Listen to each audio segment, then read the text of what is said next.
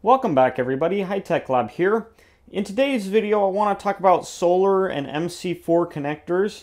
This kit comes with the crimping tool, the tightening tool, and six pairs of MC4 connectors and it's kept nicely in a storage pouch for convenient use. What I want to show you guys today is how to correctly crimp an MC4 connector and I'll show you an alternate way which some people think is a perfectly acceptable way to make these solar connectors and in fact it is not. Some other tools you'll need in addition to this kit is a pair of wire strippers. And in this case, I'm going to use some regular THHN wire. I have black and red here, but typically you'd do this with the correct solar PV wire. And the thing is, this is 10 gauge wire. You want to make sure your wire strippers can strip 10 gauge. In this case, this goes from 12 gauge all the way down to 6 gauge. And then I have another pair of crimpers, as you can see here, that some people may be trying to use for this, and these are the ones that you do not want to use. These are just a pair of commercial electric crimpers from Home Depot. So as you can see here, this is the crimping tool. Now I'm going to squeeze this and you'll notice it's a ratcheting type. So if you only squeeze it a little bit, it holds that position that it's in. And this will make sure you get a full crimp on that connector before it releases. That way it's not too loose and causes a bad connection. You can actually get this kit with this tool and connectors on Amazon. I'll have links in the description. Uh, go ahead and check these out. They are worth your money because if you don't get a proper crimp connection, it can cause a fire. And if that fire causes damage to property, then you can be held liable and saving the 30 bucks on this tool is no longer a savings, it's a massive expense. So it's worth your while to get the tool for sure. So let's take a closer look at what comes in these little packages. You have these little ferrules, which as you can see will go in each other inside of the connectors. Now one thing to keep in mind, the female ferrule goes with the male connector. So as you can see on this connector, this is the male end. The female ferrule goes with the male connector. And it can be kind of confusing. And uh, if you get this backwards, you'll have to cut the connectors off and uh, start over. So make sure you understand male ferrule goes with the female connector and the female ferrule goes with the male connector. You'll probably screw it up on your first time. So typically your solar panels will already have uh, connectors on them, but in this case, uh, I don't have a solar panel handy. So I'm gonna take my wire and I'm going to take my strippers and I'm going to go ahead and strip off about a half an inch of insulation and be sure to use the correct um, setting on the stripper for the size wire that you're dealing with. So now on a solar panel, you'll have a couple of connectors. On the solar panel end, the male connector is the positive of that solar panel. So I'm going to make a cable right now about a foot long and this is going to be my solar panel end uh, you should already have this set up on your solar panel, but I'm going to make this just for illustration purpose. And you're going to take this ferrule and stick the wire in it like that. Here is a nice still close-up of what that looks like. And you're going to want to take this and stick it in the tool. Now when you're putting these ferrules in the tool, you want to put the open end toward the top, like so. And you can go ahead and start squeezing it a little bit. And then you can stick the wire in at that point and then squeeze it all the way until it closes and then release it. Your crimp should look like this. And here is a nice close-up shot of what this should look like. Now once you have this crimped on, keeping in mind that your male ferrule goes with your female connector, you're going to want to take it and just go ahead and insert it all the way into this connector firmly and you'll hear it snap and you shouldn't be able to pull it out of the connector. You're then going to want to take your tightening tools that are also part of the kit and put one end over the connector and take the other tool and go over the back that, that'll tighten up and tighten it all the way until this tool clicks. Hear it clicking? That's how you know it's tight enough. Now in this case, I use regular THHN wire, and as you can see, the back closed up. And if you were using PV wire, this would not tighten down all the way until this is closed. It would be slightly more open. But this connector right here, as you can see, I can't pull it out no matter how hard I pull.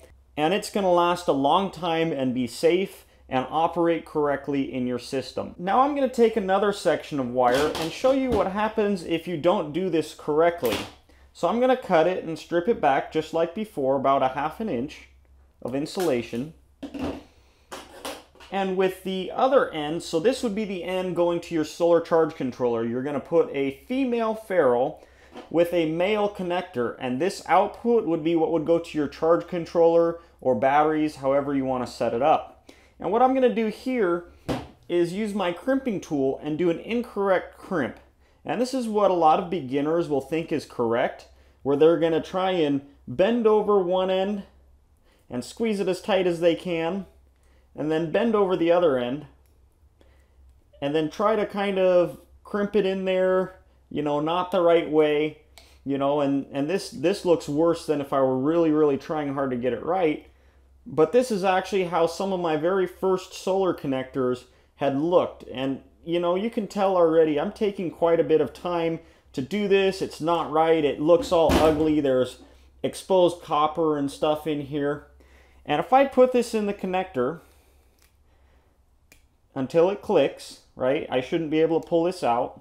And go ahead and use the tools just like before and tighten it up until it clicks.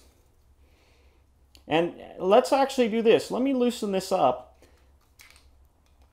and I'm not going to use the tools because if you don't buy the kit, you probably won't have the correct tightening tools. And I'm just going to spin this as hard as I can. And then I'm going to connect these two together. And now what I'm going to do is I'm going to grab the two and pull them as hard as I can. And as you can see, the one that I crimped the wrong way pulled right out and it didn't take too much effort if I now try and pull the one crimp properly as hard as I can, it still isn't coming out. It's still connected well and will be good for use in my system for a long time. The reason also it's so important to get these right is once you tighten this uh, lock ring on the back, you can't really pull this apart. Look at how nasty it is in there where that crimp opened up. This connector is garbage and I can never use it again on my system because that ferrule is all screwed up. So this would be your positive and negative from your solar panel. Again, negative has a male connector and positive has the female connector. And then if I were making a negative cable to my charge controller, in this case I'm going to show that with black. Again, strip it back a half an inch.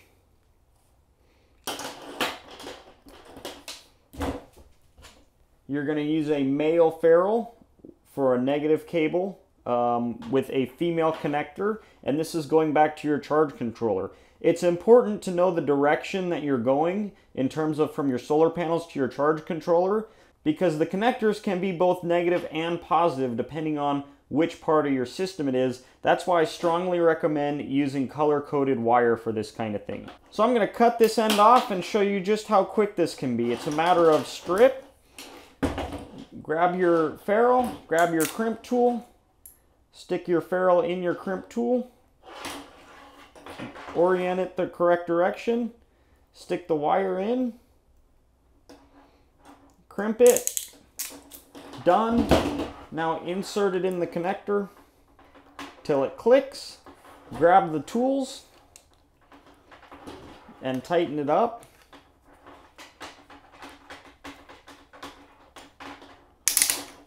Till it clicks and as you can see it's done just like that. Much, much, much faster than doing it the wrong way. So anyway, guys, I hope you enjoyed this video and learned something today. As you can see, this pair that I made, crimping them correctly, it's really hard to pull apart. It's going to have great electrical characteristics, and you'll be very satisfied using the correct tools, and you won't have to worry about having connections fail and catch on fire and potentially burn down your whole house or RV that would be very unfortunate to find out. So that's why I'm advising to you guys, get the correct crimping tool, get the correct tightening tools, make a good installation, and it'll make your day that much better. Be sure to leave a thumbs up if you enjoyed this video. If you want to see more videos like this, be sure to subscribe to the channel. And I want to let you guys know that I've been following the channel for a while. I recently acquired a shop slash warehouse where I'm going to be doing more filming of videos. The content just gets better from here. So be sure to stay tuned, hit the subscribe button. I'll catch you guys in the next video. And be sure to check out the links in the description where you can get your own set of crimping and solar MC4 connector tools. I'll see you guys in the next video. Later.